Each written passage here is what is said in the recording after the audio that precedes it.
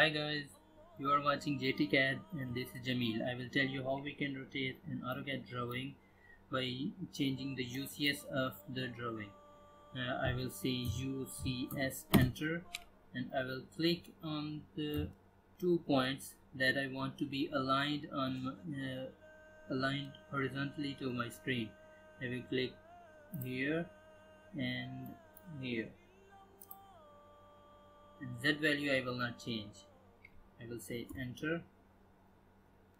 Now I will uh, I will say PLAN enter and I will rotate uh, plan should be rotated as per current UCS now the drawing is rotated as you can see uh, according to my current UCS uh, and if you want to rotate this one again you can say UCS enter click on two points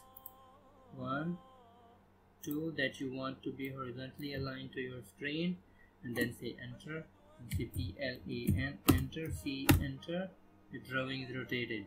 Later on you should you must enter UCS enter world enter so that the coordinate system will not be changed. According to this hmm, by this way you are not changing the coordinate system you are changing the rotation of your uh, UCS you're, you are changing the rotation of your view only thanks for watching. Uh, please like and subscribe my channel. Uh, that's it